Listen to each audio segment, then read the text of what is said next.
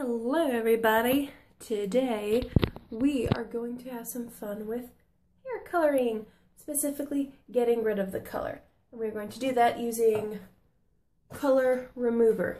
This is not color stripper, it is not bleach. There is no, like, I don't think there's any ammonia or peroxide or whatever the hell heck that stuff whatever the heck that stuff is. It stinks to high heaven though. That's the only downside. But it works really well. I mean, this that you see right here, this is going from a brighter, this kind of like, it's pretty, it's pretty much that red. My hair was pretty much that red. And it took it to this. And it does help. I have to say I am a natural blonde, so it does help. That does help. But, I mean, I just did my roots, so you can't really see my natural color. My natural color is actually very ashy. So it made this actually very nice, pretty golden blonde. But we want to get rid of the last of the red. That I, I, I love my red. I've been, I was a redhead forever. And then when I did this, I was like, fire. but I want to go green. So we have to get rid of the red and go full on blonde. Don't you just love this little hairdo going on? Yeah. All right. Hey guys. Okay, so obviously we're in the car because, you know, lighting is awesome. And um, I was a smart one and I thought I had a lot more of leftover of the stuff in the bottles than I did. I did. Because you saw what little I read I had to do. It wasn't even enough for that. So I mixed it up as much as I could and I slathered it on.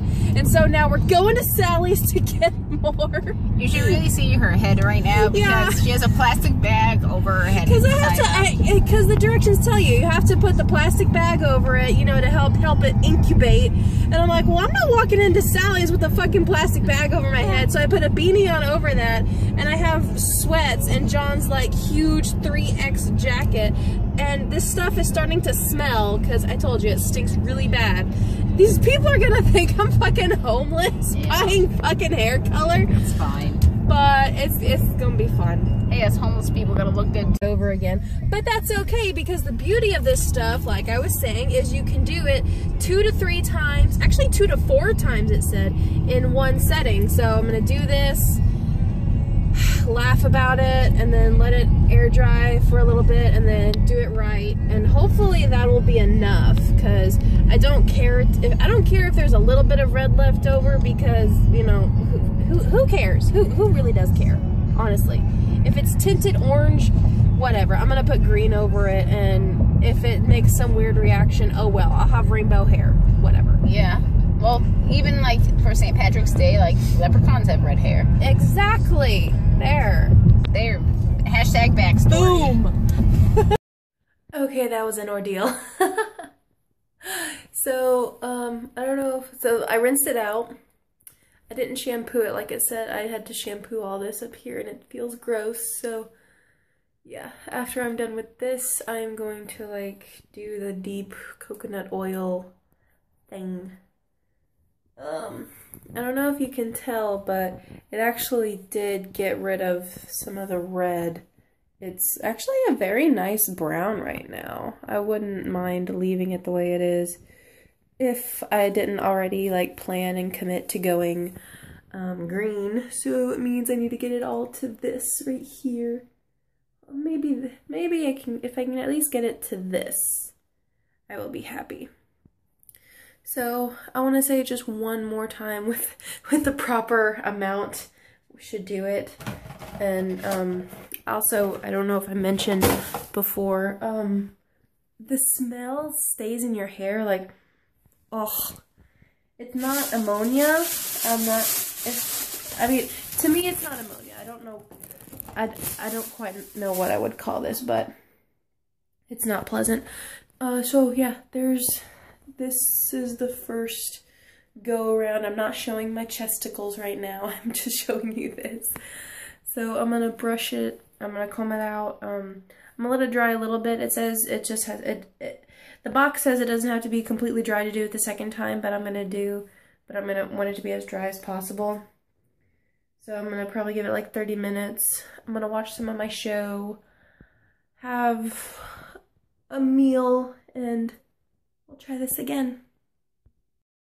Alright, so it's fairly dry. It's, I mean, of course the roots always dry first. I don't know why. I, I would think that the roots would dry last, but whatever. Uh, my kitchen's still kind of wet though, so, but meh, whatever. So, I'm gonna try and pin up. I don't know if I want to pin this part up because it still has some red tinge to it. I mean, it can't hurt to put the color remover on it, you think? I don't know. But it's fairly dry and you can kind of tell a little bit more now that the red is a little bit gone. I mean, it's drying more coppery brown, but Okay, and I would show you as I'm mixing, but I have I need both hands to mix, and I can't find my tripod. But uh, the color the color fix comes in two parts, like any normal hair color or anything. And the thing about this though is you have to mix it very you have to mix it very fast because the longer it sits, the less potent it is. So that's why I can't show you as I'm doing it. Like my sexy little hair bag. Uh, that actually didn't take long at all because brushes are, are, are not the way to go. Just literally scoop it up in your hand and slather it on. Oh, and by the way, this is what it looks like. And it has the same consistency. We all know what this is. It's semen. You just scoop up the semen and dunk it on your And this is what we get.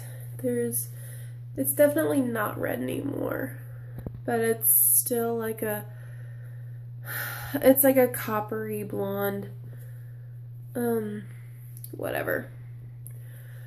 It's, um, I'm going to do another round, but not today. I'm probably going to do it tomorrow.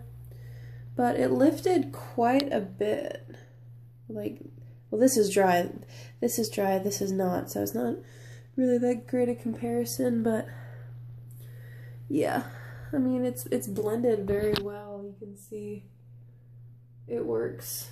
I could leave it like this and not even think about it, but I'm not going to do that, so I'm gonna give it a rest overnight and then I'm gonna do another coat, I guess, um, tomorrow, and then I'm gonna let it rest Thursday, and then we're gonna, yeah, we're gonna continue on the journey with our journey. So, and this is the final result, and it's really dark in here. I didn't realize it was this dark. Okay, I'm gonna have to go back to the bathroom. I don't want to go back to the bathroom there's it reverberates. But whatever. So this is what happened the second time around. There is no more red tone coppery tone at all. It is just a deep golden brown, or excuse me, a deep golden blonde. And it's all, it all looks like a solid color. I mean, there's an obvious difference when you compare the top and the bottom layers like that, but it blends really well. And I think when I put the other color in, it'll like make a nice little almost two-tone thing. So yeah, there you have it. These are the end results. Uh, this is what happens with color remover. It's actually very simple and I'll get the box so you can see. I get it from Sally's. It's called One N Only Color Fix. It's, um, it doesn't bleach. It doesn't strip. It's actually very good for your hair.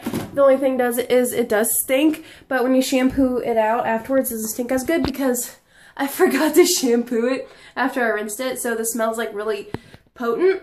So I, I'm gonna take another shower and wash it today so then I can color it tomorrow. Look at the color I'm doing.